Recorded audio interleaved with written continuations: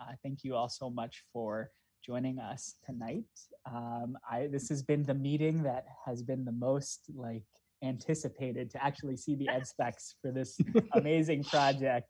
And um, I'm super excited. So I will just, I'll hand the baton uh, right off to you, Kara. So Sure. Okay. Well, thanks, everybody. Um, you know, this has been a, a very interesting project uh, that I, I think um, we can all say that has kind of come at a very interesting time in Danbury. It's like perfect storm of things happening right now. Hi, Gladys. Um, Do you need help to get on? Are you okay?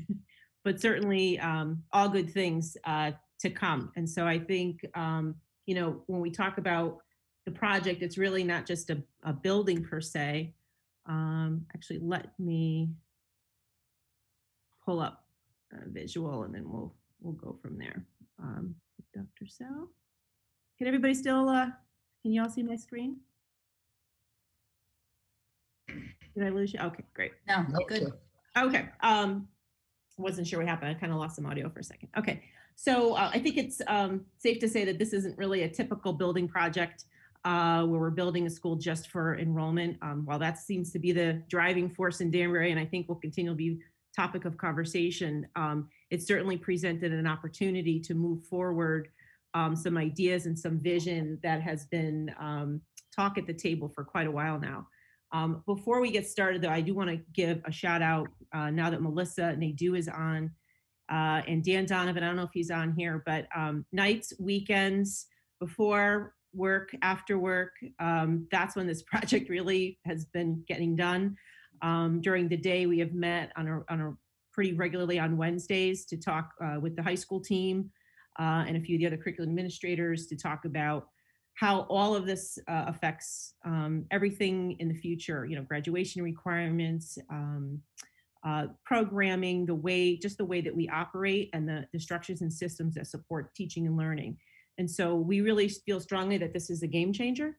Um, it's not just a building, it's a concept. Um, it's a way of, it's a way of doing school um, moving forward. And we think it's going to present our kids with a lot of opportunity um, and, and really just better informed uh, students that go off to um, whatever it is that they're meant to do. Um, and so you have the document in front of you that talks a little bit about sort of the um, the long range plan, the rationale. Obviously, the enrollment again is part of this. This is a part uh, high school, part middle school um, concept, and we can kind of talk about the breakdown. Um, and we talked a little bit about in the document the project rationale and again, beyond enrollment, that this is really about uh, career connected learning for students um, so that they have an understanding and an exploration about what's out there in the world so that they're better informed. It's not just about uh, the Common Core math and literacy standards. It's about where uh, where are the things that I like, uh, where are my um, where are my talents, where are fields that I might be interested in, how can I explore those uh, in a way that's meaningful and in a way that's authentic, um, and then provide opportunities. So when I graduate high school, um, there's some jobs at the other end of the line here, and that uh, you, you know what you're working for and you're preparing for. Um, in the ed specs, we did put in um, some of the program goals. I'll actually start with those. I don't want to read everything to you because it is in the document. And I was, was thinking about doing a slideshow, but it would really be exactly what's in this document. So it would have been a, quite a long slideshow. So I just, uh, I think talking about the program goals a little bit uh, in terms of the academy piece for the high school side, um, I think will be important, um, along with kind of going over the, the larger, um, the larger vision for not just this location, but the broader scope for the high school side. So the program goals for the Academy of Scientific Innovation and Medicine and Academy of Enterprise and Economics, those are the two names that we decided to house these pathways in the academy at this location. Um, it's really about providing students with choice and rigorous academic pre- preparation aligned to the state standards um, and, and really in line with college and career education that bridges uh, secondary and post-secondary opportunities. And that's really key because that is what this is about. Um, en route to that, students have the opportunity to explore career-related interests, understand career trajectories. I always use the CNA as a very concrete example of what that what that could look like. Um, so, for example, uh, students graduate at Danbury High School now with a CNA degree. a CNA certificate and a high school degree that prepares them um, for competitive colleges for direct entry nursing programs. It prepares them to have experiences in advance to know if they even want to be in the medical field. It prepares them to go off to the world of work immediately right after high school. It prepares them to have a employment um, during college to help them pay the bills um, and just provides a, a, host of opportunities. So they're allowed to, um, kids come out, they're really like a triple threat. They have opportunities and they can pivot in many directions and they're well prepared um, and they should have a pretty solid foundation for post-secondary post-secondary work. Um, when we talk about some of the uh, the academy pieces, we're we're really talking about programs of studies for kids that are different. This particular site will talk about health science and then the uh, business career uh, fields. And um, the methodology that will engross students in is really about project-based learning and providing experiential opportunities. Um, all of these will be connected to our DPS portrait of the graduate. Um, at this particular location, um, there's opportunities for all kinds of industry-related credentials, which are in the document, and opportunities for leadership opportunities, personal growth, um, and, uh, and opportunities to network with, with companies in our, in our local area. So I'm going to zoom out and give you the big picture of the entire system that's not just about this location, and then I'll zoom back in and I will hop to my document here. And if this is not large enough, just let me know. If I'm making you dizzy, you could close your eyes for about 15 seconds. Okay. Okay. So what we are proposing, again, outside of the location of the summit, is that we transform our high school into the academies at Danbury High School. Um, and so um, all students have this opportunity. It's not just about the students who get to go over to the Matrix site um, into this new shiny building. Um, the goal is to transform teaching and learning at the high school level for all students and that we provide choices um, along the way for kids to explore and to also to select to concentrate on before they leave Danbury High School. Um, after a lot of conversation, um, some lengthy professional development, very engaging professional development, uh, working with Jay Steele and Connie Mack. They are the founding architects of the Academies of Nashville that we've talked about many times um, in using uh, Department of Labor statistics, um, understanding national uh, career clusters, regional career clusters, and then Connecticut's career clusters. Um, these are the academies and the associated pathways that we have determined um, that will best suit our students and will provide them with the most opportunity uh, in the future. Um, these are not exactly static, so these should be reviewed yearly with program goals, um, and they're monitored for viability uh, every year moving forward. So every couple of years, they, we should do a deep dive into um, Department of Labor statistics, opportunities, and what's coming around the bend, preparing kids for the future.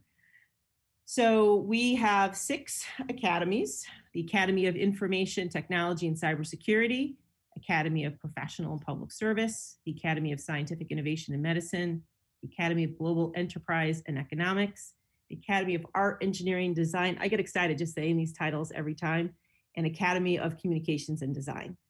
And um, the two academies that we're going to develop out first will be the ones housed at the uh, at the summit location, and those are the ones that are in bold here. Um, academies, uh, each pathway typically will hold between 120 and 130 students. Um, they can, that can be more or less depending on uh, the pathway, but also some of the interest and demand. Um, I'll talk a little bit about the Academy of Scientific Innovation in Medicine and uh, starting with the biomedical pathway, you had a chance, opportunity hopefully to read some of the descriptions to understand what that's about. Um, this is a very hot and in-demand field. Sports and human performance pathway, um, some of the certifications that kids can get are physical therapy assistants, which is very much in demand, um, but also learn about the body, wellness, and, and human performance.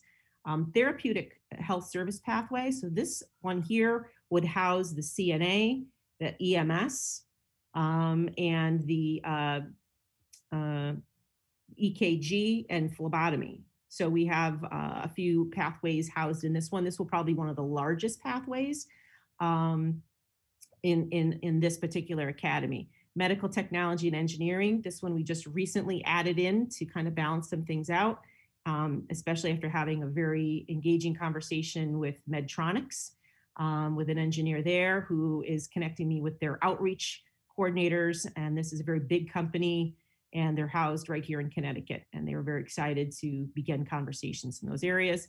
And then we have the environmental and renewable energy pathway, which seems a little bit like odd man out uh, in the group, but that's an area that we hope to grow out um, and, and is certainly in demand in terms of renewable energy. So um, we are excited about that. I'm getting another robocall from the Danbury Public Schools. Okay. um, and, uh, and, and with that, we also have the Academy of Global Enterprise and Economics. So management and leadership pathway, investment in finance. That's going to be a really exciting one. Business and entrepreneurship, another exciting, and global supply chain and logistics, which is a very fast emerging and developing field.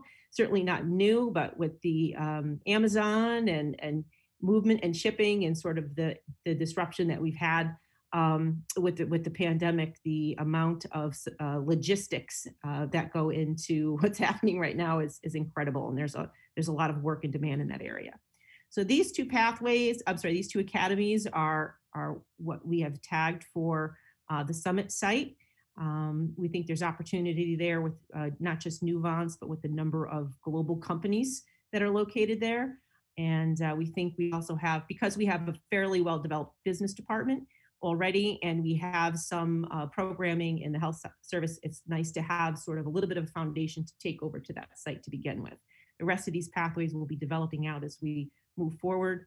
Um, these kind of demand a little bit less of in terms of equipment and build with the exception of the engineering which that's for another day. This is really about ed specs for the building. Um, and we can certainly get into more conceptual conversations about this shift and what it means understanding what a ninth grade career in college academy is. Um, it's really an exploration course for this for all ninth graders before they make selections into these academies at the end of ninth grade.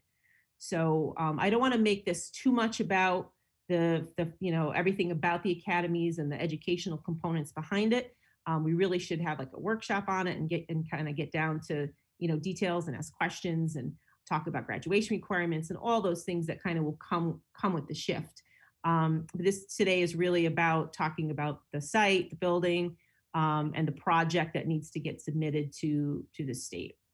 Um, in uh, Glenn, I'm going to be kind of calling on you for in, in, about a second, so I'm giving you giving you your 15 second warning. Um, that, we'll have some questions, um, but I also I want to talk a little bit about this piece here in terms of the the numbers of students that this building will service, which is 1,400. Um, we've tossed around a little bit about, uh, you know, how many students should be on each side.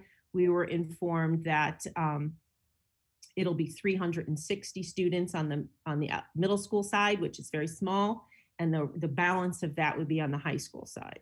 And so we did go back and make some changes along those lines. Can, Uh, can I ask you a question about that? yes, sir. I, I'm deeply concerned about that. This doesn't seem to address any of our middle school problems. We have more than a 360 student middle school problem now. Yeah. Much less in two or three years when this is open, much less the increased enrollment. How does this address our middle school problem at all? And what are we gonna do if we don't address it here? Talk to the state. They've done the, and, and I just ordered another, um, uh, another study for, our from our demographer. There are seats empty, uh, at, at the west side. And the only authorization we have for reimbursement, that is, for reimbursement, let's, let's be clear, is that we could bill something about 370, 350 to 380 for middle school. They, that, those are what the numbers support. Respectfully, that makes no sense. We Well, were I'm not- discussing a year ago. I'm ago. not saying I agree with that, but I'm saying we, uh, that's where, you asked where, that's where the number comes. We were looking at trying to put in five or six hundred there, if you recall, when we were talking about it. But, uh, the state, uh, and Glenn is there now, pushed back and that's Me- not gonna be permitted for us to do at this point. Maybe we, maybe we need to more aggressively push back against the state because this is ridiculous. A year ago, we sat in sites and facilities discussing it live at Rogers Park, what we were going to do about a middle school and not wanting to put 300 more students at Broadview, or we couldn't do it at West Side or couldn't do it at Rogers Park. We didn't put 300 more kids at Broadview because we already had 300 more kids we had to figure out where to put. This is 360 kids two years from now. Maybe we need to push. I, I don't doubt that the state said that. Maybe we need to push back against the state because this seems a little silly, doesn't it? Well, that's sort of with our position. There are a lot of things that are on here, Joe. Um, for example, as we open, uh, you know, the building, just like we did with AIS and those, things can change and then we can make adjustments. But the application that Danbury submitted, and I'll let Glenn deal with that a little bit. Maybe that's all they'll support in terms of um, reimbursements. We could build what we want, but the reimbursement's going to just be on, you could put in 1,100 high school kids and you could put in, you know, 300 um, middle, they're fine. But if we, if we exceed the middle school number, they have a problem with the reimbursement. So that's why they pushed us to this uh, Well, number. Queer. Can you respond any better than I can?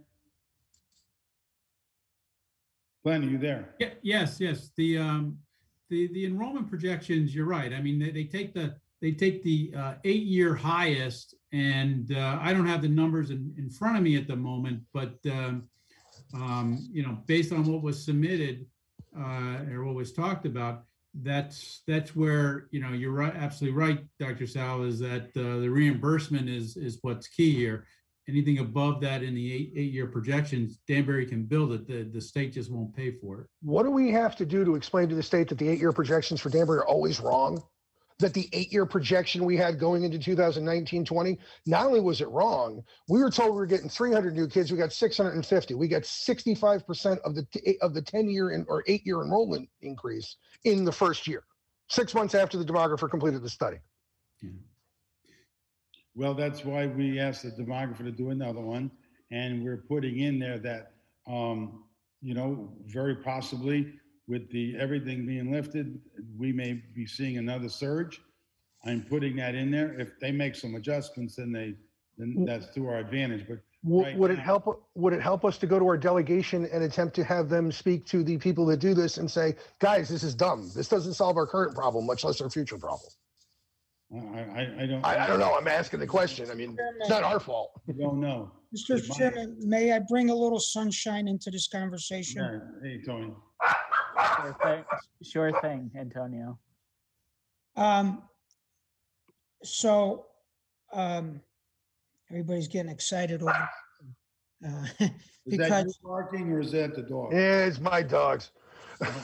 So, um, uh, let, let's just be clear. I want to, because we're among friends here. Uh, let's just be clear about two things. Um, schools are built and expanded based on, uh, eight-year projections. Uh, the Board of Education prepares eight-year projections. Um, the projections that were over, uh, exceeded were projections that we, as a city, as a Board of Education partners, presented to the state. So, um, the state doesn't do the projections, uh, the Board of Education does. Um, and that's the reason why Sal, uh, moved away from the old demographer and actually went with a company that, a little more expensive, but they're probably the best in the industry. Their eight-year projection peak for the middle school was only about 300 to 300 kids, 300 to 330 kids. And that's about three to four years out.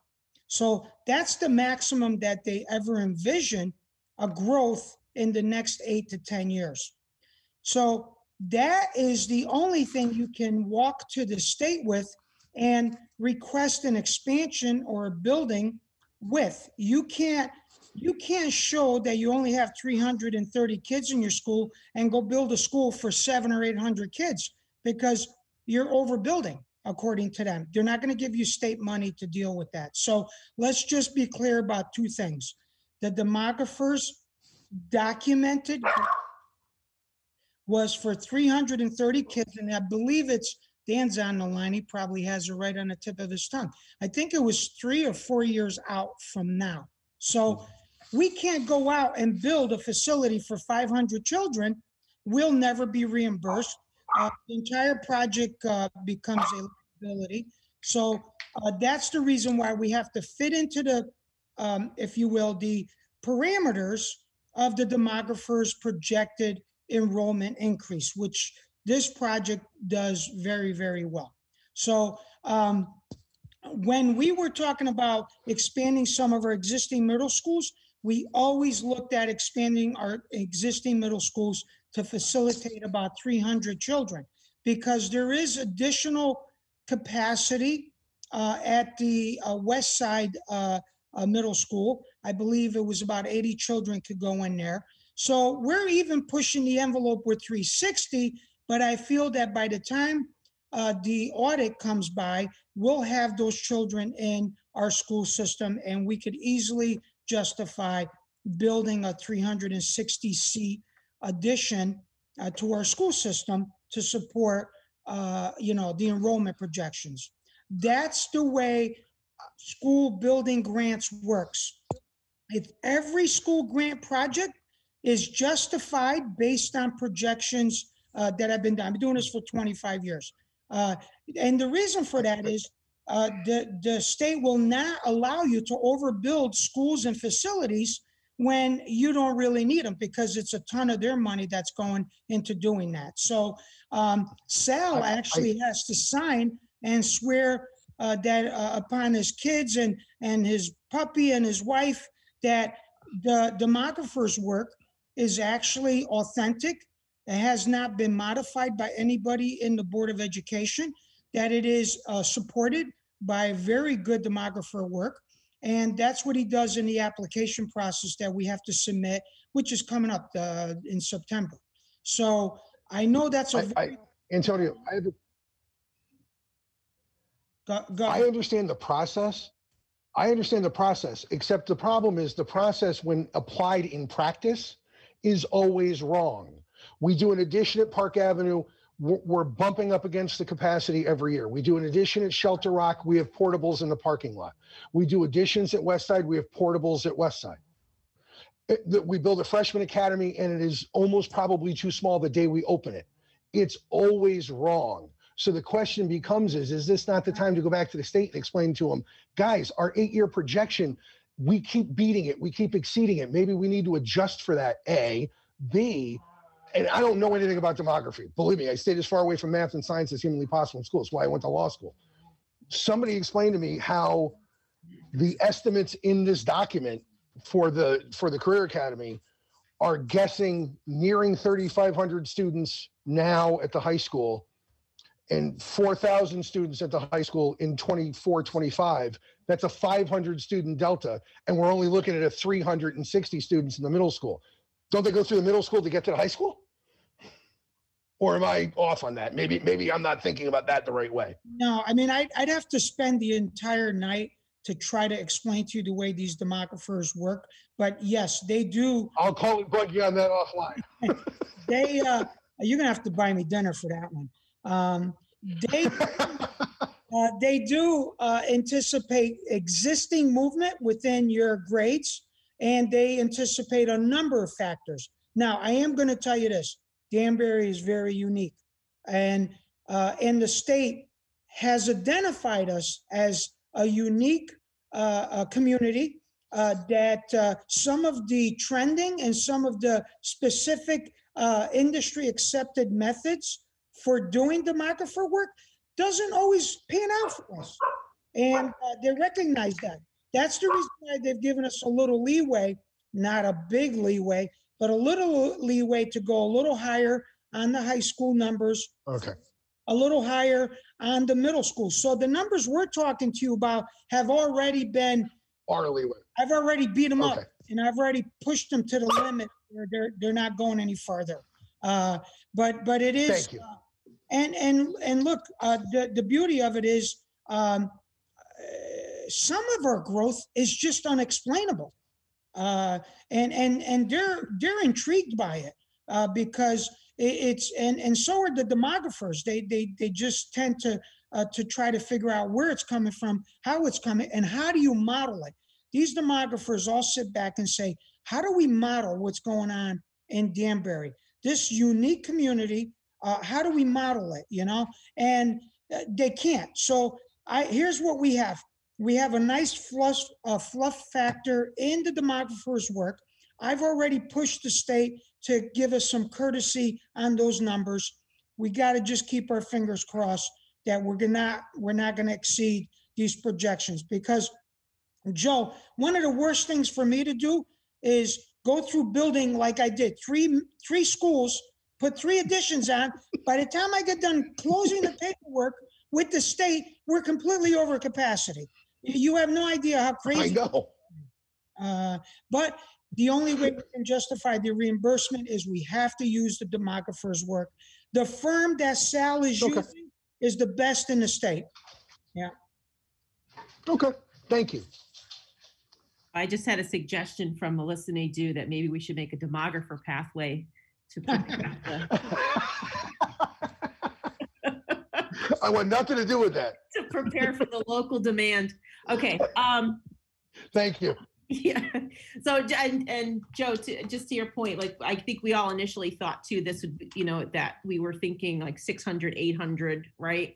That's what I was thinking. I, I, we totally understand that it's, uh, you know, we are, to Antonio's point, up against a different, you know, a different dynamic there in terms of how they, how they do things versus, you know, maybe what our perceived need is, I guess. So, um, okay, I think um, what might be best to do is, uh, Glenn, I'm going to just kind of move to where the uh, pathway labs are to start there, because those are kind of the specialized areas that I think are interesting. Talk about the, the, two- the two specialized areas. Um, and then I'll let Glenn kind of take over talking about maybe the blocking and the square foot and square footage and all how all that stuff works. So I'm just going to scoot to um, what appears to be page 12 on this document. Um, okay, so a lot of the work, you know, came around when we were talking about which, you know, which pathways are going to go over here. We had to really do some quick uh, research. Uh, we had a couple of site visits. Uh, everybody was doing homework, trying to understand, you know, what what is the best equipment and what is the best build for these types of rooms to support uh, teaching and learning in, in a particular pathway. So there's a couple of specialized rooms here. Um, so the bio, we have a couple of labs. So the biomedical pathway has its own lab, 24 kids, make sure there's sinks. Um, Anatomage um, tables are, if you don't know what they are, please Google that, look them up, you'll be blown away. But our kids will be working with these, um, this uh, very incredible equipment and it is very state of the art. And hopefully that gets uh, passed in the in the package. Um, a human and a, a sports and human performance lab. So think about almost like a physical therapy room where kids are, or students are learning about um, the human body and performance and some rehabilitation and um, and wellness and all things related to sort of the physical therapy route. Um, therapeutic health service pathway. Again, this was your CNA, EMS, EKG, and phlebotomies pathway. Uh, again, another Anatomage table will be included in that, hopefully um, and that this would be a, a very clinical looking setting, very similar to a hospital looking setting. Um, I have some pictures and some ideas that we uh, shared with with our architect friends here who helped us out just to give some visuals as we were kind of talking through um, some things. EMT pathway. This is exciting. Um, when Glenn gets Glenn, uh, Glenn, do you want to talk about this? Because this is a great. You're, you're doing a great job going through this. Okay, okay, okay. So at the on the ground floor, on the ground floor, there'll literally be an ambulance bay where you can pull an ambulance bus in. Um, there's also some simulation equipment.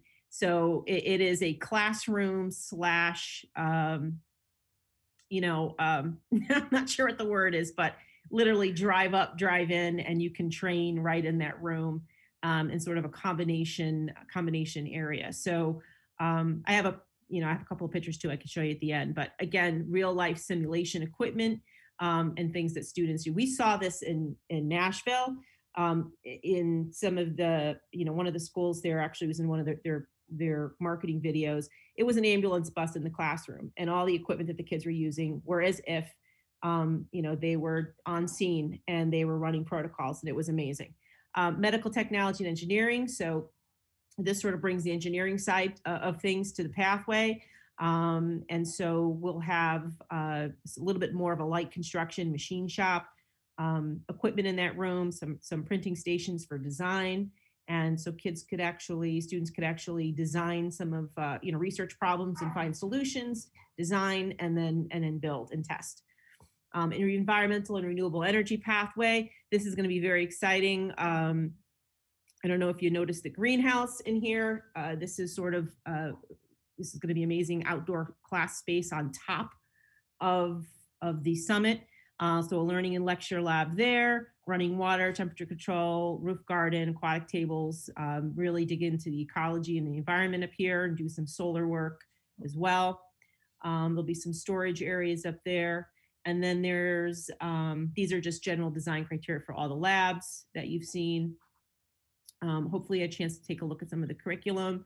Um, Melissa, Melissa Nadeau uh, and the group just went to town on really researching and, and writing um, for these sections. So I, I can't thank them enough. This has been, um, you know, and, and we, I literally make phone calls on the weekends and at nights and, and people were, were, were going to town writing on this. I just want to make sure I, I can't thank the, the group enough. Um, Dan Donovan, Missy, uh, they do. So um, I'm gonna scoot down to the other labs. Apologize, this is, a- this is a little non-linear. Um, so for the Academy of Enterprise and Economics, which is more of the business management leadership side, um, those obviously don't need to look like uh, science-y kind of labs, but we want to make um, really simulation rooms, right? So very corporate looking a little bit. Um, you'll see that we have, uh, you know, large LCD displays, monitors and stations, device charging stations, uh, investment in pathway design. Um, again, computer stations in here as well as an LED dynamic stock ticker, track uh, stock market tracking simulation um, software, and you know we're in the process of researching a few of those video conferencing capabilities and um, just the, the the room and the environment to to simulate um, that experience for kids, but then you know also the equipment to actually do real work and to understand that work. Um, business and entrepreneurship again, some of these are very similar, very business-like um, rooms. The global supply chain and logistics, so that's kind of a combination of the business, but understanding the mechanics behind it um, and the systems that make these things work. And then um, an opportunity to um, build and unmanned aerial drones and to have sort of the work and design space to do that. Um, and so again, here's the curriculum and the sample courses. Um, there are some. I think too, there are some, because we had to rewrite it, there is some inconsistency. So if you see something, we'll point it out, but we have to re- redo some of these areas. I just want to point that out. That's all, Kara. this, this, the formatting stuff. Yeah. that- Yep. But that's okay. It's still a draft, like we said. Yeah, yeah, yeah. Um, media centers, capstone choral instrumentation area. So um, this will house a middle school. They will have music programs. We'll also have uh, music programs for the high school students as well. Um, it'll have a pretty nice gym. Um, and there's some of the specifications there that are listed out. Glenn, jump in anytime Yeah, You you're wanna- almost, you're almost to where I want to go.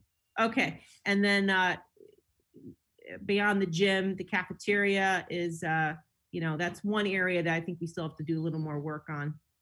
Um, it's a little bit, a little bit small, but, um, and then uh, this other stuff here gets into the main office administrative areas uh, and all the blocking. Do you want me to go down to the blocking or the or the To matrix? the- to- to the matrix. Okay. Yeah, Yeah. so as, as uh, um, Karen and the team identified the, the pathways, the types of rooms and so forth, um, our team uh, looked at each of those uh, kind of spaces and, and based on the uh, uh, needs of, of the pathway labs or um, uh, other types of classrooms, identified uh, the uh, size and capacity of each of those uh, collabs um, you know, throughout the, throughout the program. Um, those are this, obviously the specialty types of, spaces. The classrooms, the, the core classrooms are pretty much what you would think that they would be in, in, uh, you know, uh, Danbury High School or any of the middle schools. Um, the key challenge here is obviously we were dealing with, or are dealing with an existing building.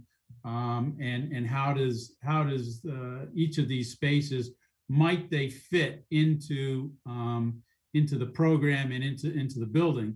So, um, you know, we, we kind of, uh, went through that and, and, uh, based on the square footages, identified what could fit in the, in the existing, um, uh, building, uh, space, and then what, uh, uh, uh, spaces would be built on the ground level, um, as new space.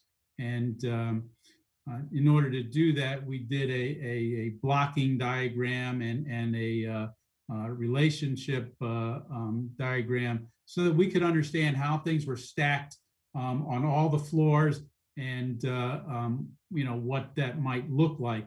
It's very abstract, you know, to um, uh, to to most, uh, but to to an architect, uh, it's a great planning tool to to move forward into the next step. This, of course, is a roadmap that would be given to the design architects, um, and uh, uh, you know, this is going to be a, a great tool for that, you know, next step in the process.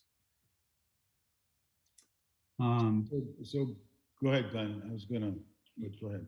Yeah, no, um, you know, I don't know if you want to just, is the uh, blocking diagram in here?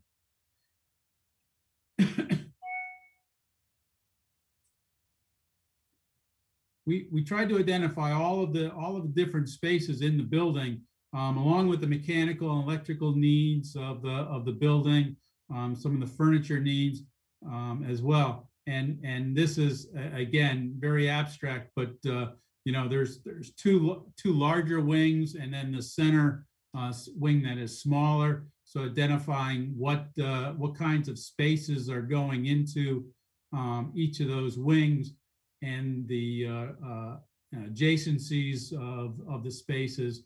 Um, and, uh, so I think, you know, overall, it's a, uh, a, a- a great document to get started with the design, you know, design phase.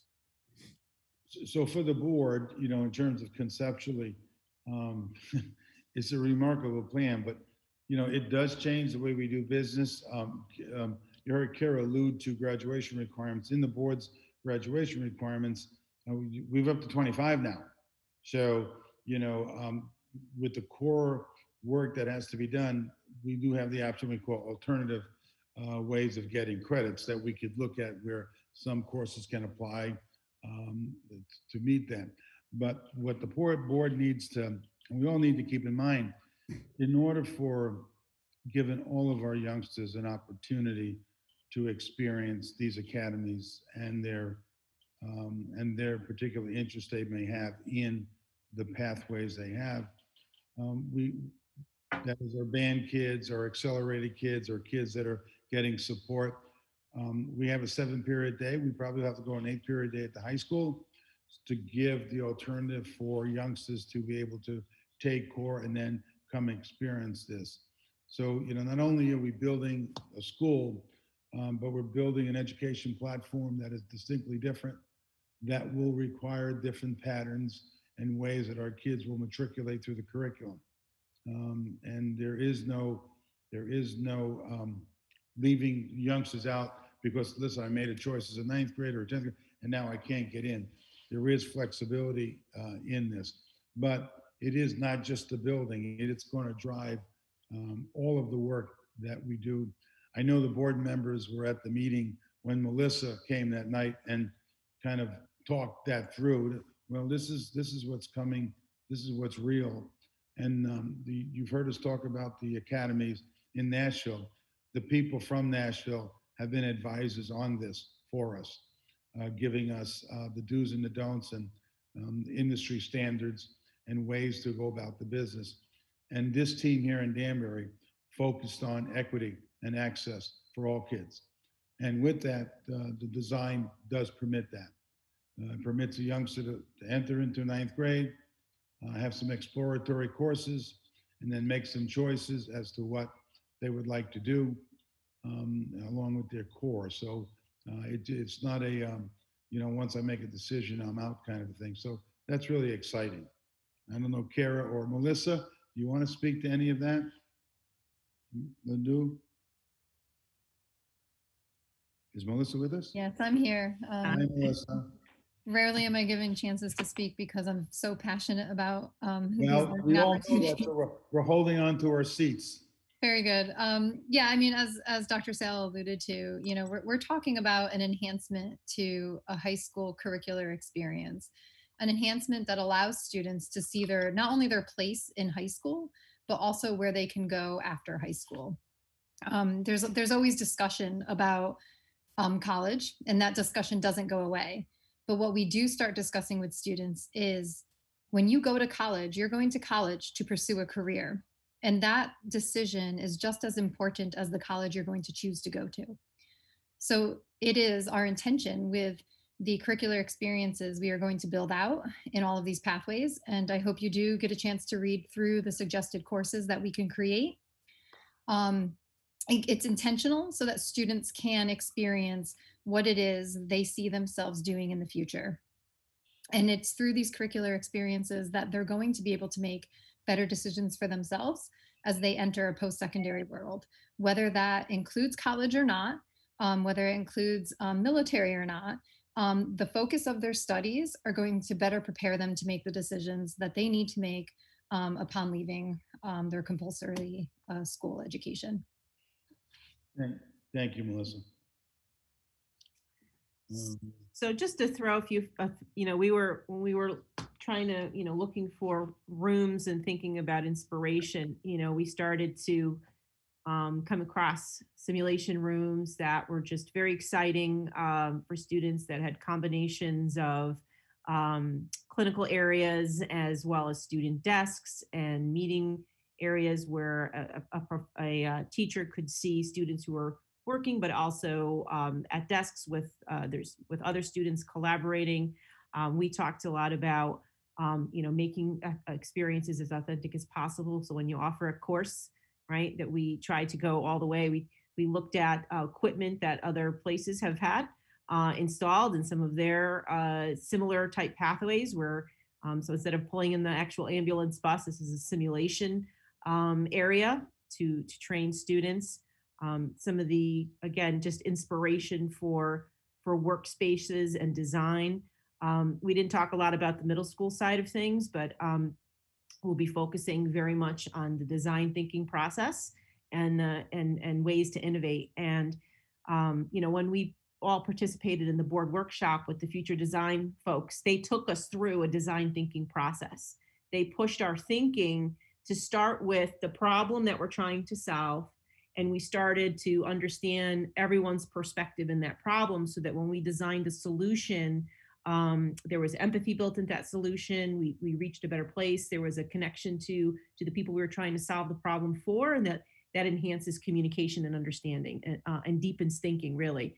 So um, the middle school side will really focus in on that design thinking process but we will have uh, design um, labs and uh, maker spaces for kids to explore and to dive deep into um, their ideation and and ways to um, think about their learning in ways that they haven't done before. So, um, you know, these are just inspirational concepts that we've been tossing around just to give you idea of what kinds of things are on our minds when we, when we envision um, sort of the next wave of classrooms. Um, and, and kids actually, you know, getting their hands dirty and, and working and doing the work um, and learning through very authentic experiences in uh, areas that actually have jobs uh, at the end of that road. So um, I'm going to zoom out a little bit. I'll take my screen share off for a bit and see if anybody has any questions. Only that I think the board always knew that thi- this was not going to be a separate diploma or high school. This was part of, just as ACE has been for years, traditionally a Danbury Secondary School, high school with a Danbury High School diploma. The same as would happen here. Uh, The youngsters will not have a, a football program, a basketball program there. They will when they go back to the main school, which means we provide transportation. Um, but, you know, it's, uh, all of that uh, will take place um, at um, the main campus, if you would. So structurally, this is Danbury West in a lot of ways, um, where uh, the youngsters would be there um, and then return to the high school if they wish for other activities. Um, you won't have the same gyms and you won't have the same fields. There'll be, and that's what I think Kara's talking about. We got to look at our graduation requirements. And in the requirements, it talks about um, alternative ways to achieve that. And they could build that plan to achieve those very um, um, accredited courses they need, but maybe in a different pathway. So all of that happens. So just to be clear, Kara, um, the way this works, I think uh, when we, when the advice we had from, um, when we went to the academies is that um, the, our kids would have their experience in ninth grade. Would you talk a little bit about that? Because I think everybody should hear that. Sure. So all students would come up to Danbury High School for their ninth grade course. So they're oriented to Danbury High School, and over the course of that year, through an ex- college and career exploration course, they are oriented to all of the academies and all of the pathways, and so that they would understand um, the career trajectory, if you will, of where certain areas, um, uh, you know, the different stopping points uh, along along a continuum of career paths um, that lead to different things and provide different opportunities. You talk about salary. There's a little bit of financial literacy embedded in that course as well, so they understand these types of jobs produce these types of incomes, but here are also the conditions for these jobs and the type of work that you would do, and understanding your needs and wants um, as a person and where, what might be a good fit.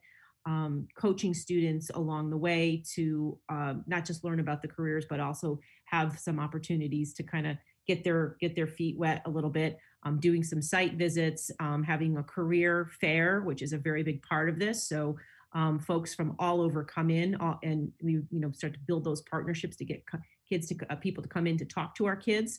Um, so that by the time um, that they uh, reach the end of ninth grade so obviously they're taking all their core courses but this is a specialty designed course for ninth graders. Um, and so and we talk about workplace uh, work-based learning and and and how to how to um, how to navigate that environment um, but so so the students would select at the end of that year after learning about multiple areas um, and visiting all of those sites, all of those academies, um, what would be best um, suited for them. So they get to make that selection and then they apply based on a lottery. The lottery is an open lottery. Um, students put their maybe first couple of choices down and we would work out a system to do that as equitably as possible. Um, the plan is to support all special education students and students who need ESL services in, in all academies, no matter where they are.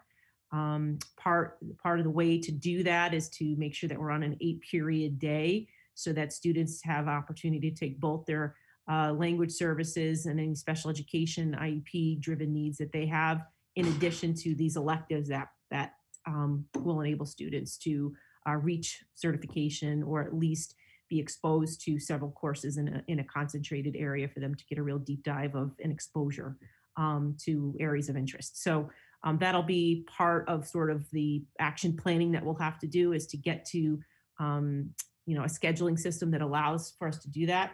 We do have some professional development lined up for, for this summer that the high school team will engage in as well as the curriculum administrators and that is to uh, learn how to schedule these uh, best practice around these schedules We'll be working with the folks again from Academies of Nashville. And then later in the summer, we'll be doing more program programmatic development. Um, we really had to jumpstart that internally with, and that's uh, reflected in the document that you see here today, and thinking through the courses that students would take and the pathways, the trajectories of those courses. Um, we have a lot of work to do with the on roads and off ramps uh, of, of coming into these pathways and what, what do you do if a student wants to change their mind and um, you know, how do we create enough flexibility within our graduation requirements so that um, students will uh, can make a change um, without losing ground in, in their graduation. So, you know, we have a, a tremendous amount of work ahead of us. Um, we have started to put together a four to five year action plan on how to get us there. Um, there's pedagogical shifts that are involved in this that are that go beyond just uh, naming something an academy or pathway.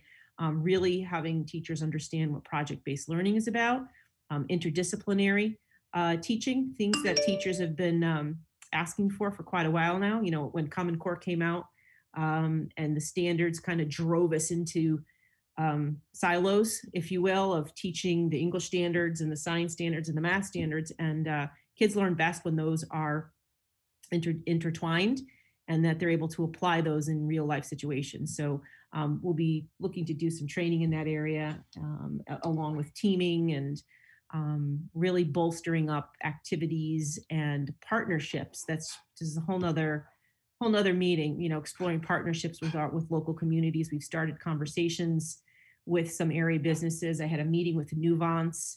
Uh, I just left elated because the group was so excited to hear that this was coming and you know they wanted me to present to their um, their board soon and to, to get those conversations started because they have a real need for some of the things that we've identified here locally um, and so it could be a mutually beneficial uh, relationship with I um, think too, uh, Kara, the state's picked up on this work you guys are doing and are, are coming, in, right? You want to talk about that? Uh, yeah, so, you know, the positioning on this has been, you know, interesting in the sense that, um, and I have a meeting coming up, uh, that I've scheduled because I, there's a lot of dots that need to get connected in the state, in the state. There's a lot of different departments at, uh, at, up at the State Department that have seeds of all of this, um, that they're kind of working on, right? These increased graduation flexibilities. Um, Governor Lamont has put out a, a a, doctrine on uh, on increasing manufacturing, high tech, high skilled manufacturing, which of course doesn't look like it used to. You know, it's it's it's computer everything's computer based, right? This is not these are not dirty manufacturing floors, and they're looking for laborers. They're looking for really high tech uh, people to help to um, innovate in and, through these manufacturing centers, and we just don't have enough skilled labor. So um, you know, Governor Lamont has some some skin in the game with trying to increase that workforce. And um, you know they brought in some some groups to help spark some things. And then there's then there's a, just a few other groups at the state department that are all sort of working on this. And I, i'd love to see uh, us string some things together because i think the state will start to move in this direction. We could be if if we do this well we could be a flagship in the northeast there's no doubt in my mind um, you know this is doing a wall-to-wall academy model is a game changer um, and I, I it's not just a game changer for the kids, but it could be a game changer for the community. The community has needs. Um, everyone, you know, what- businesses come where there's skilled labor, and when there's no skilled labor and it becomes too too expensive to outsource, they move to where those locations are. And so we have an opportunity to to fill both both needs um, here. And um, you know, there's a lot of development on the partnership side and and the and the community side that that we can do. But there's a lot of people that are already interested and are very excited. So So, so, you know, also, as you can hear Melissa talk about this, who's a, you know, she's in the sciences. You have teachers that have been teaching for years and now this is in their real house, and you have a whole new excitement on their part too to select some. And I think the board and the district's gonna just realize the impact, not only for our kids, but the, the, the enthusiasm from our staff. Mhm. Um, it just, it just, it it just sends a thrill down my spine to think that, that we have an opportunity to do this, just growing out of a building. So Melissa and Kara and Dan and that team, God, it, it, I think it's just gonna be wonderful all the way around, all the way around. So I don't know, uh, why don't we just keep quiet? Maybe, I'm sure the board has questions. Yeah, I'll open it up. Amy, go ahead. Well, I'm as excited as you are. It's very exciting, but I, I have a few, well, I'll start with just one question and that's, you s- just said, Kara, that ninth graders will all be oriented, oriented towards all the pathways.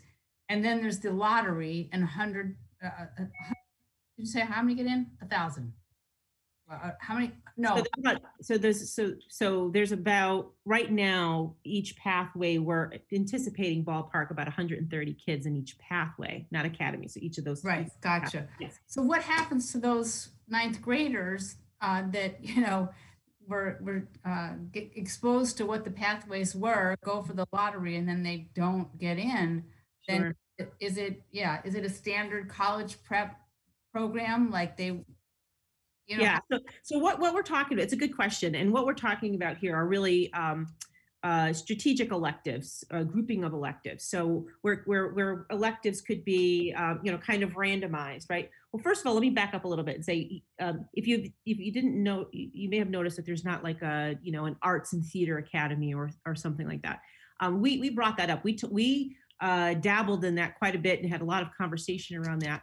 Um, the bottom line with arts and theater and music is that that's for all kids, right? All kids should have opportunities to explore that and to have and elective choices in those areas. When it comes to selecting electives in an area, we're talking about concentration of two or three courses. Um, and, and so there's just really a couple of courses that students would actually take to dig into some of this content. Um, and, and the real, uh, the academy and the pathway piece, it's really about, um, you know the field field trips opportunities bringing people in the in the industry in to talk to the kids to get them excited um, having um, some connections between the classes in, a, in an academy about what with what students are doing. So if student who's interested in in the healthcare area will have a lot of similar and crossover courses um, in, an- in an academy uh, for which you know we're talking about the academy of scientific innovation and medicine there's one, two, three, there's five different pathways in there um, and, a, and quite a few slots uh, to, to, to work with. So even if you didn't get into your uh, biomedical pathway, there's lots of crossover in the courses between the CNA pathway and the, uh, the EMS pathway um, that, that students can take. And so, you know, not every student will get into every pathway, their number one choice, but if they're in the health academy, they should more than likely, if that's the area that they're interested in, more than likely be able to get into a pathway that that's within the healthcare realm. Um, you know, and those are things that Amy will continue to work out on the best way to do that. There's going to be more demand in some areas than others. So year over year, we're going to have to reevaluate that. So, you know, right now we have um, kids that want to go. I think uh, Dan said there's like 200 applicants for the CNA program every year not everybody gets in. They take 60 students and and because that's all that we can take. Mhm. Um, and so, you know, the goal here is to increase those similar opportunities as much as we can um, and add and add to that. And so certainly as, you know, once we get to a wall to wall academy model and we're we have systems and structures in place, we can expand and contract some of those, um, like I said, from year to year based on on need and, and student interest. And then also over a period of multiple years of evaluation say you know okay so do we still want to offer uh, an integrated manufacturing pathway? You know yes or no and and why you know what's supporting that decision making process and that would be based on data data and and statistics and and uh, you know local area demand Okay, Thank you. you're welcome Uh, I actually had a question. Maybe, and forgive me if you already answered this, but just like so, a student that i- applies for the lottery, right, and doesn't get it for that uh, Mhm. ninth grade year or wh- whenever they they would start the academy, is it possible that if a vacancy were to open up in their second year of high school or third year of high school for them to re-enter the lottery, or is there is Mhm. it kind of are they baked into having to do the full amount of time at the academy to have the experience. yeah those are it's a great question and those are i mentioned at the beginning that we're we have a lot of work to do with the on Yeah, road no, if it's too on, premature, ramps and off ramps, right? Yeah, Like, you know, yeah. getting in and, and coming out, right? And if I want to make a change, what's that process look like and how do we do that so it's not so disruptive, Mm-hmm. um, but, but benefits the student? And so those are all like kind of part of the action plan and the, and the, the training that we'll, we'll get into, um, into the nitty gritty as we kind of work out the details. But we've, we've had some preliminary conversations about those and they're all great questions. Those are all things that have to be logistically laid out and clear uh, for for kids, for parents, for everybody on on how to do that best. Cool. So, so Joe, that's one of the things, even at that, if you and I decide to change, the courses that we took um, should also apply to graduation. So it Right, doesn't, yeah. it doesn't impede them from moving ahead graduation wise.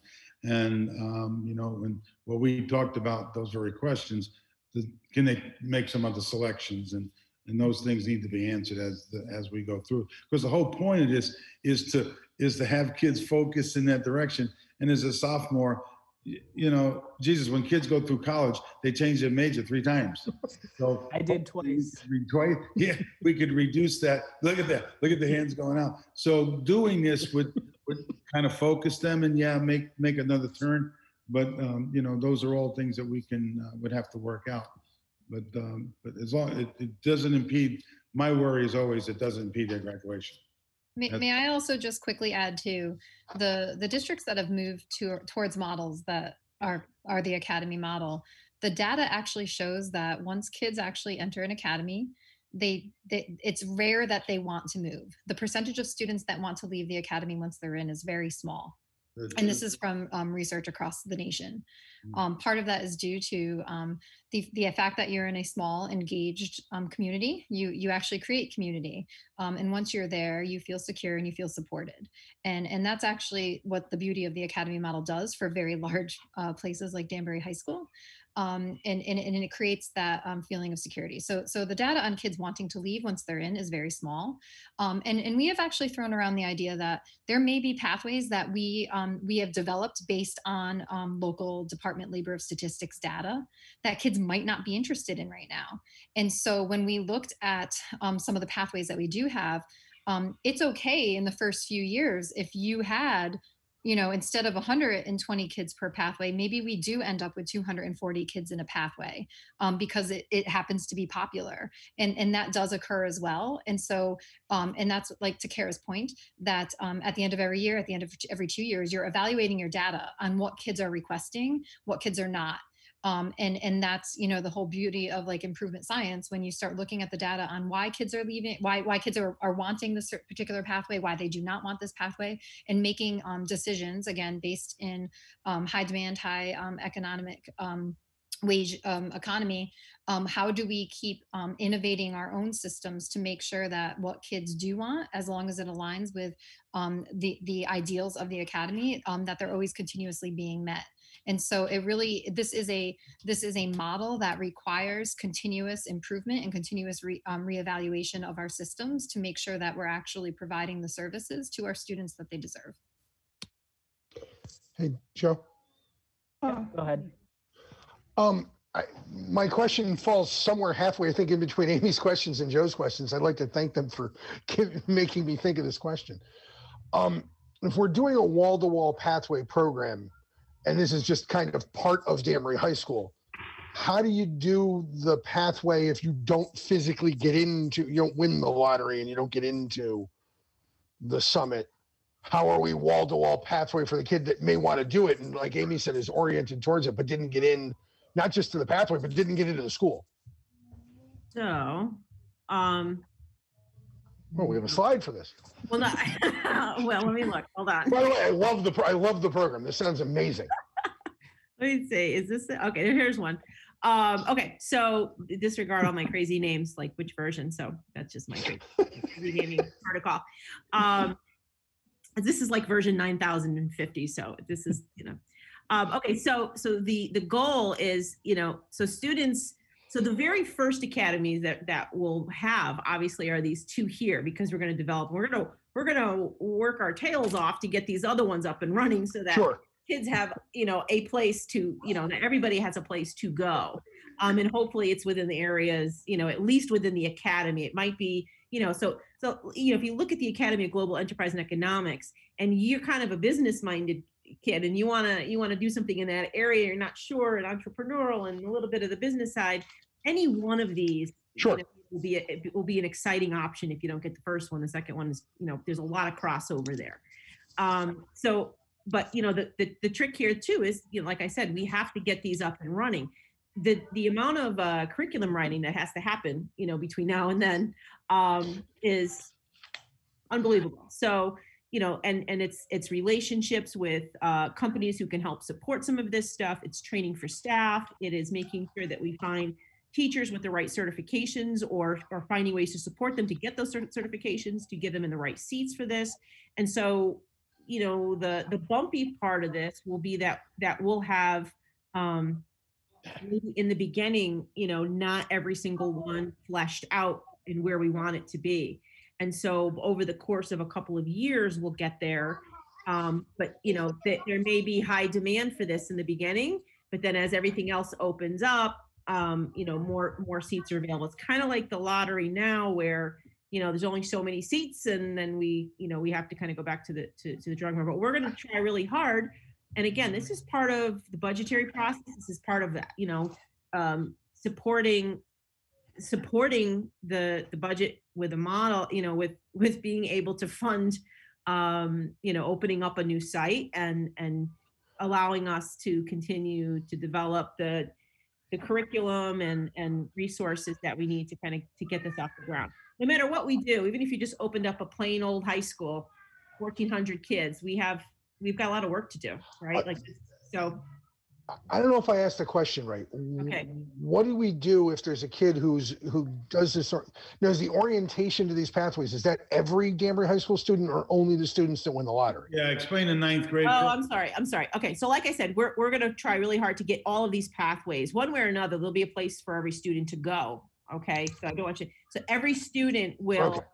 every stu, so, so we may have to double up on the, on this pathway here, Joe, to get, to, to get a slot for, for all the students, but, but we'll get there. So every student comes up to ninth grades, like 950 freshmen or so, will have their foundational courses, their typical courses. They'll take their PE. We'll try to get some of those uh, core classes out of the way. Um, they'll have their college and career course. And um, at the end of that, they will select um, a couple of these pathways, you know, that they're interested in. And then we will develop a process for Okay. the lottery process and students will be notified. And then, so if you're a 10th grader and you get in here, that means that you're taking the bus over to the summit location for your classes. At the end of the day, if you play sports, you're in the theater program after school, you, you take the bus back to the, to Danbury High School, you come back to the high school. So is the anticipation that all the freshmen are at the high school and the career academies 10, 11, 12? Correct. Okay. I wasn't, I thank you. That actually But, you know, clarified. I a lot. kind of, yeah, and I kind of glossed over a lot of that piece because I didn't want to, I, I was afraid that, you know, uh, you know, this is about the, the technical specifications of the building and I When I went, when I know- went to the high school, it was 10, 11, 12. So I'm actually used to that. So Okay, yep, so same idea then, same idea, and they make their Okay. selections, so these are all kind of, not quite Yeah. upper academies, but 10, 11, 12, that makes a lot more sense. Thank you. yes. Uh, Could I just ask a question? And, and I'm excited about the academy, uh, excited about all the information that I've heard so far. My only question is, and I think you just sort of maybe cleared up uh, uh, some uh, reservation that I have uh, when it comes to uh, students um, being selected by the lottery. And so you're saying all freshmen, if it's if it's a thousand, they're going to have the opportunity to get an opportunity to uh, attend this academy. Am I hearing this right? And that 950 students or whatever it might be is uh, will not be put into a lottery until the next step. Okay. And the reason I'm bringing this up because, you know, as I go back over the years and uh, I think about AIS and Westside Magnet School and how the atmosphere, uh, as far as some parents uh, versus other parents because if my child got in into uh, the magnet school or uh, the uh, West Side Academy, they were a little bit smarter, a little bit brighter than you are. So I think that other students that weren't able to get in are uh, and are on a waiting list. I think some of those comments you sort of need to bear into mind when you're dealing with parents because I think it's uh, it's very important to some to consider those things. And I know that um, things are going to be based on a lottery system, as you can't put a thousand here and a thousand there. But it's it, it's it sort of hurts students and parents when that type of conversation is going on between parents about, yeah, my child got in, so maybe yours on a waiting list, and it might not never get in. So uh, that's that's a, a very negative uh, uh, Yeah. point that that I think that we need to consider. Uh, and uh, Gladys, you bring up a very important point. Um, again, conversations, some of the conversations that we've had around this, you know, when when when students, um, trying to put this, I don't know how I'm politically correct, but when students are, you know, when there, when there's a application to to uh, AIS, application to the middle school, west side, those, th- those are really very much parent driven, right? So, um, and sometimes we, some, you know, parents that have a little more, uh, um, Influence. influence or, or capital, if you will, to, that understand the system, navigate it a little bit more Mhm. fastly, uh, tend to have an advantage, right? And getting those, let's get that application in and, um, and so, so, so there's, take that and put that in the parking lot. And that's really kind of a parent-driven process. What we want to do here at this ninth grade academy is empower the students to make those decisions for themselves. Okay. And so at this point, it's really less about the parent and it's really more about the student understanding the process, understanding what the options are, having a chance to explore those options, and then making an informed decision, um, you know, based on this, the, the curriculum that all students get. And that's, the- that's the game changer. Every student gets the same curriculum and they get coached in the same way to make those decisions at the end of the process. Of course, parents will influence uh, some of their choices, but every every student will have that opportunity to to have that same um, equity, if you will, and understanding what their options are and how to access those options. Thank you. You're welcome.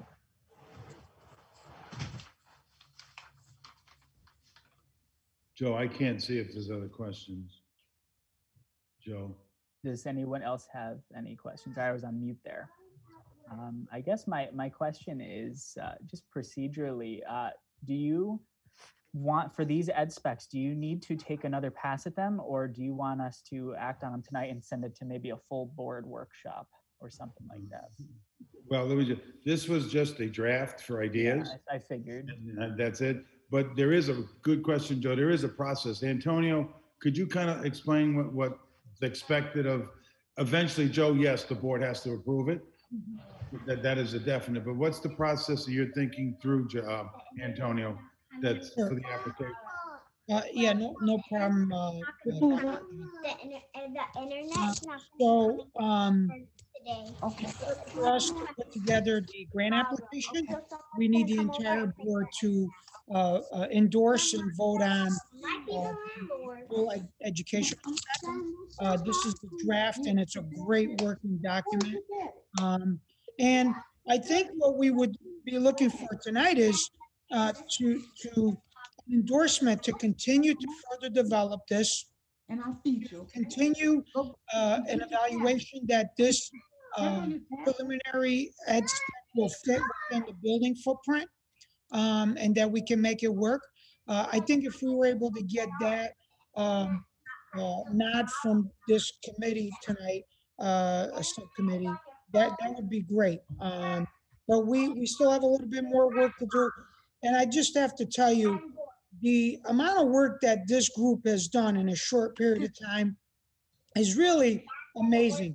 I, I put these folks on a deadline for submittal of final ed specs, and they've been working nights and weekends getting it done. So, and this ed spec is probably better at this point than most that I've seen in my past career as a final document. So you really, uh, I want to commend the entire team that pulled, this together. Uh, and not only that, this is probably one of the most exciting programs I've probably will ever be involved in. This is a trendsetter. This building will be a trendsetter, but this that spec that will be housed in it, uh, it'll be a first of, of many. So um, uh, I, I think um, a, simple endorsement that you like what you see so far and you um, endorse the ed spec and the uh, focus of the ed spec would be great tonight so we can continue to move it forward.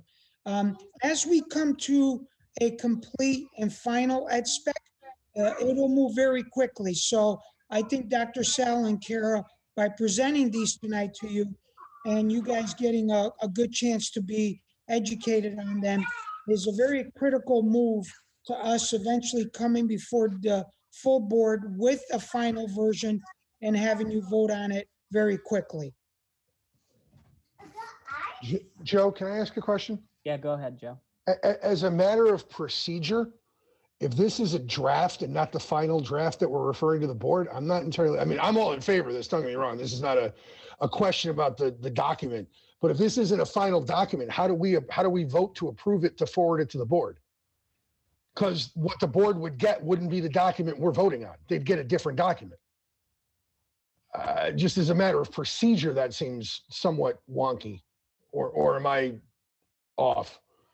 Dr. Sal, Kara, and, Yeah, I, I think tonight's purpose here was, th- there's a lot of work that's gone in it, but it's a draft. And I think what, what Antonio's saying, guys, are we going in the direction that you're interested in? oh, for sure. And then now we'll take it back. There's, we got to look at this and make some modifications. Glenn's got to look at it. And then uh, refine that. I don't expect to be much different unless the board said, "No, it's not the way to go. Then we're back to square one. But if this is the way to go, then we can make some adjustments and then come back to the um, board and say, here's, a- here's another, here's a recommendation with some final draft for you to consider. And then, you know, like we normally do, we look at it, the board may have input, we wait two weeks, make any adjustments, and then approve it. I mean, that's how I see it. Yep. Okay, And I thanks. think- I thought the question And too, is, Joe, um, when do you think you have to give the state the final approved specs from the boards by the board?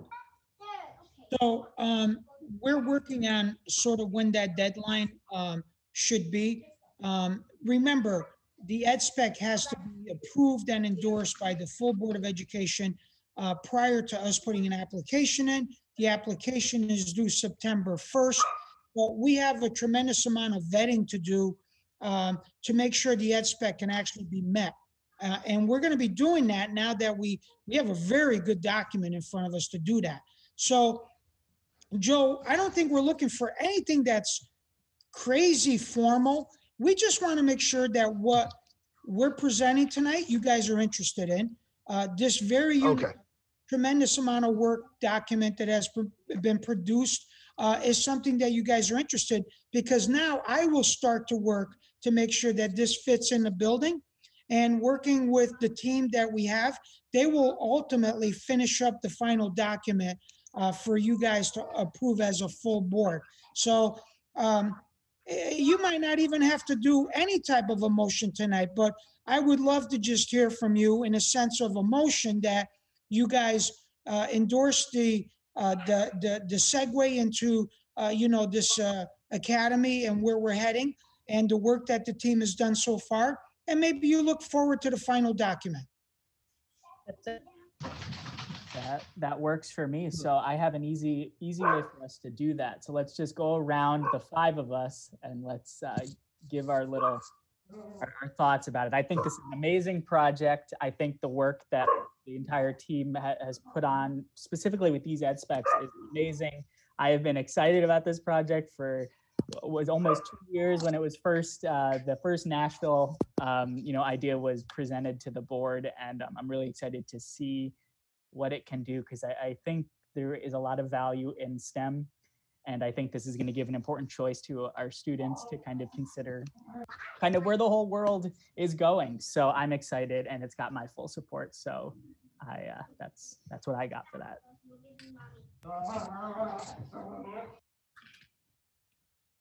Um, I, I too, um, endorse it and, um, I'm going to divorce myself from the cost. What it's gonna cost down the road and just say that it's a wonderful program and the kids will, our kids will just benefit from it tremendously. So I am all for it.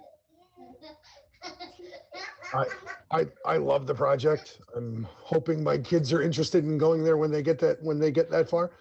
Uh, we got a few years left to go, but no, I think it's a great idea. And, and definitely pursue, refine this, clean it up, do whatever we have to do. But no, this is definitely the right direction for sure.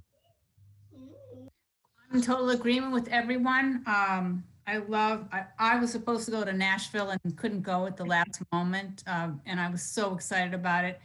I'm amazed at what, uh, the team has pulled together and I just love this idea for our kids. Uh, I think it's so, uh, it's so forward thinking. I love that. And I love that we might be a flagship in the Northeast. Um, that would be a wonderful feather in Danbury's cap. And uh, I really, I like that. I think it's a great opportunity for our kids and it's exciting. Thank you. So Amy, maybe I could, we could charge them a toll when they come cold, or toll.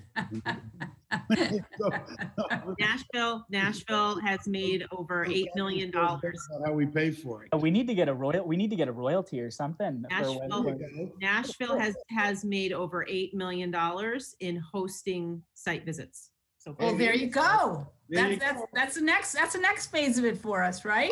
Our next revenue stream, yep. Yes, Court- Courtney can put that in the 28, 29 budget. yeah. There you go. Oh, great. Thank you. And, and, Jo- uh, by the way, Al had, Al went off to another meeting also. I was gonna say, if I, I thought I was here in the beginning. It was, he just, there's, there was a PTLI meeting that I think he's attending. Uh, there's PLT, P- PTLI, they're presenting some of the budget stuff. I think. Yes, yes.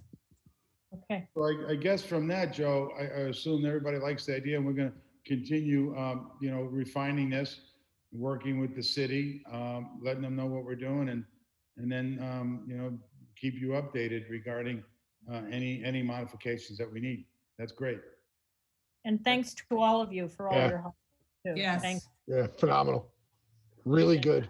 Glenn and uh, Mike and Christina, his team, you know, we, I'm not gonna lie, I was in a slight bit of a panic because I never wrote ed specs before. So, um, you know, he, they stepped in and kind of supported us. and They gave us an, an outline to follow. This is what, this is what the state asks for. And, uh, and, you know, we- they, they too were on, um, calls with me over the weekend. So I just want to say thank you. It it happened to be the nicest day of the year so far. So I appreciate your stopping to rake the leaves. Thank you. Joe, uh, can I Yes. just bring up one more thing? I, I, Go ahead. it's not on the agenda, but it's about facilities. Glenn uh, is working with us with this. I've also had Glenn um, work with us regarding next year and the reopening of schools. So, um, you know, we'll be bringing information to you all about that. Um, He was in the district today. We did some visiting. We've done some, um, we have standing committee looking at the reopening with the principals in terms of different scenarios. Um, The state informed me yesterday that um, they want to talk to me from Denver on Monday about our space issues. I'm interested to see what they got to say. But uh, I'm on Monday regarding that. But uh, all kidding aside, Glenn has been um, really um, with us. He knows our buildings. He's done many additions. And um, so we're right now planning that if, um, no matter what the state does, if all of our youngsters come back, what is it going to take to create um, uh, person, in-person learning five days a week, no matter what happens with DL or otherwise. So Glenn uh, is working with us, and so you'll be seeing more of him. I just wanted to, to let you know that and thank him for all of his advice. It- It's been very beneficial. Thanks, Glenn. Thank you. Dr. Sal, do you need us to give you a motion that we like the direction of the pathways thing? Do you, do you need that for, or uh, maybe? No, I don't think it would you hurt. need it, We can do it. Somebody would make that motion.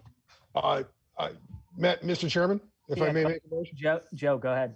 I'll make a motion that the Sites and Facilities Committee uh, approves of the direction of the draft uh, ed specs that are before us and encourage the administration to pursue them or and and complete fi- complete a final draft for our uh, review in this direction.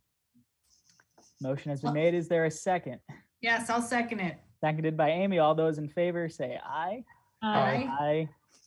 Motion carries. Yay. Thank you. Okay, thank you so much. right. Thank you, guys. Thank you, everyone. that Um, To adjourn. yes, motion made by Kathy, Second. seconded by Joe. All those in favor? Hi. Aye.